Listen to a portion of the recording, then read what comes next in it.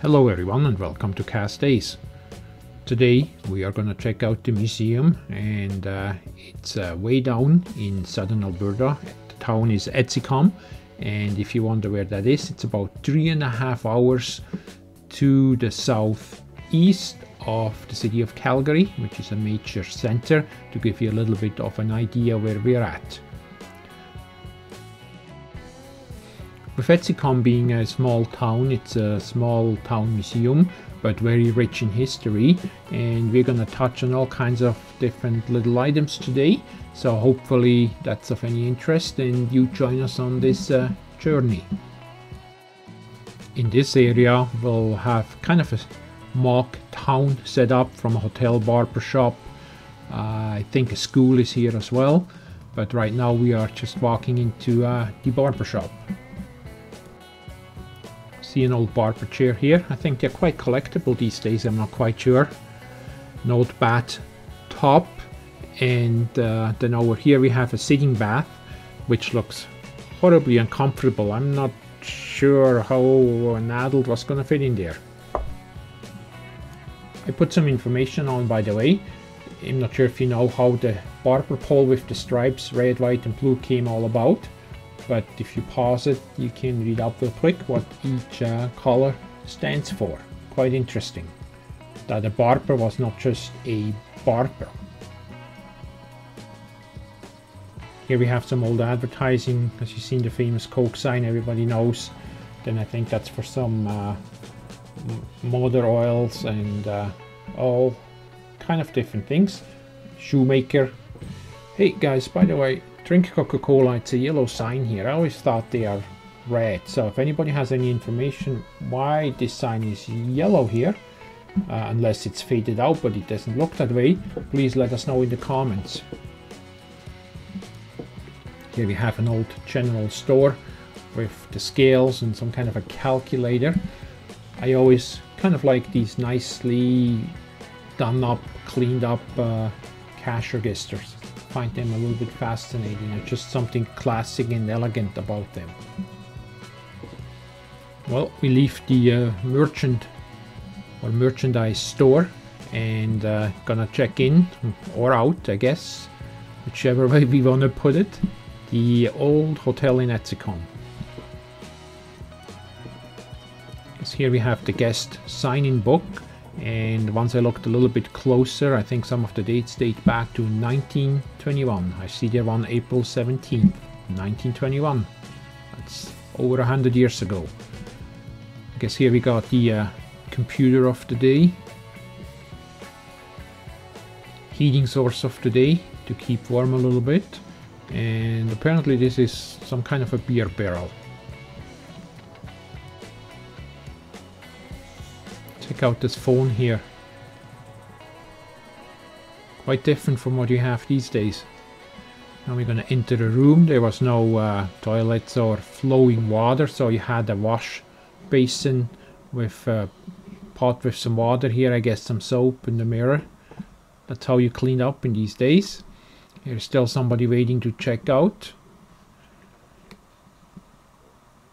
And uh, just a single room with a bed and you had your suitcase down here was kind of the accommodation of the day. Guess horse and buggy. Kind of considered this the sports car of the times. Looks somewhat elegant if you compare it with some some other wagons. Here we have a setup how a blacksmith shop would have potentially looked like guess you had to be a little bit multi-talented from uh, shoeing horses and fixing some farm equipment and uh, who knows what else. I would imagine it was pretty hot and smoky place as well to work in. So we see some tools of the trade here. An anvil, hammer, kind of synonymous with a blacksmith shop. The forge over here,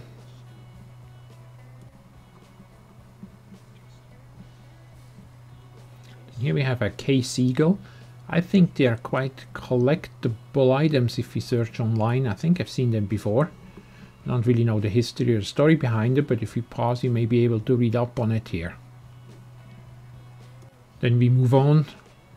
Western saddle, horse, mode of transportation. And then we're going to see uh, the buggy again here. You see the little suitcase in the back of it. As I said, it's kind of the sports car of the day. Didn't really have space for luggage. But what I was surprised of, it's 1921, 29, I can't quite remember now. And that you actually already needed a license plate for these wagons. I was not aware of it. Again, if you have some info or more history of that, let us know. And here we have a school with the English, the Union Jack, as uh, you know, Canada belonged to the uh, Commonwealth. An old Alberta map.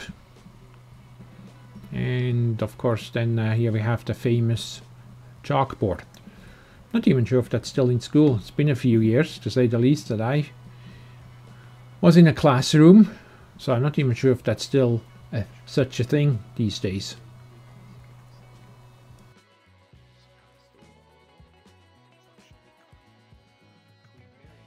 There's royalty from the English crown in here. I'm not quite sure if this was actually here uh, Queen Elizabeth that passed away. I think last year or the year before already. Can't remember now already. I think that was perhaps her uh, her dad there, but I'm not 100% certain. History, a lot of history in here. Do you enjoy it? Do you like it so far? Let's keep wandering around, see what else we can find. Well, not 100% sure what exactly I'm looking at here. I think that might have been some kind of a sausage maker here. Um, here I'm not sure. Laundry, that has something to do with laundry. Bring it out, wash it. But anyways, we moved on to the music room. I find this book here with the little uh, player inside quite neat. Gonna see a lot of old, uh, well not a lot, but some old pianos. And some of them they actually also call uh, Vorsetzers. Not quite sure what that is to be honest.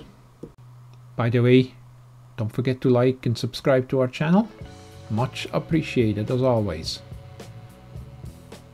I guess in the older days you had your record players, some kind of a piece of furniture in a cabinet, so when it wasn't used you just kind of closed the lid and put a vase on top or anything like that, so it just looked like a regular uh, piece of furniture.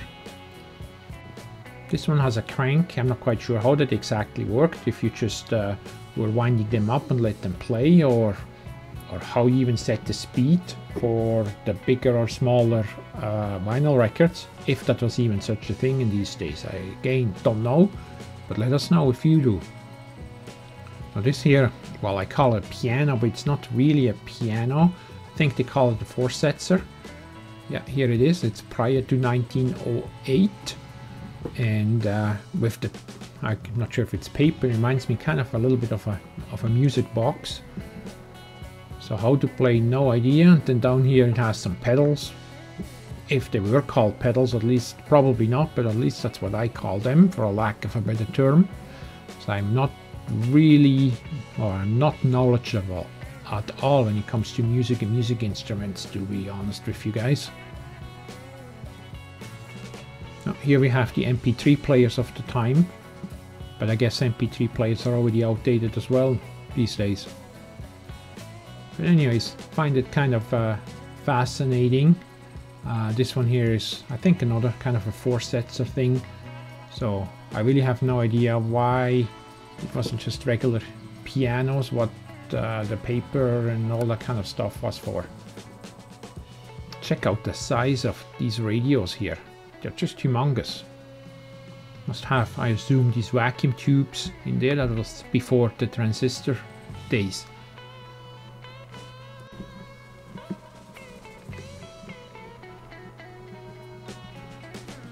It's another Vorsetzer again. That's the last one in this room here so we are going to walk over next door holy smoke, we are next door. And it's a whole room full of uh, dolls, all kinds of uh, size, small to relatively big. I think some of them are two, three feet tall. So I'm gonna give you a quick glimpse. Uh, they're all dressed up, assuming dresses of the time, the period. Not that I know anything about dolls or clothing or anything. Here is something more modern, at least I heard of it. I think that's a whole section of uh, different Barbie dolls from different years and different occasion. I see there 20, no, 2002 is one. This one I can't quite make out. Oh, 2004. So as I said, they are from all different years. Let's check this out real quick and see.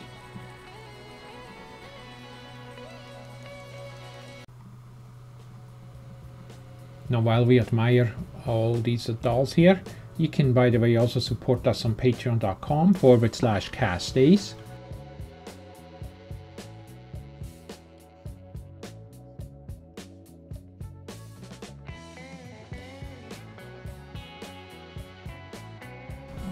Dolls we have here in this corner, they're actually pretty big. I think they're about two or three feet tall.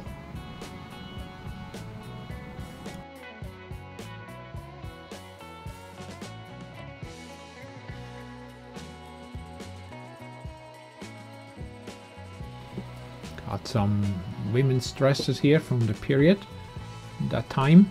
Well, we're gonna go next door and check out an old Anglican church. Alright, here we're gonna enter an old church. Squeak of the door and all.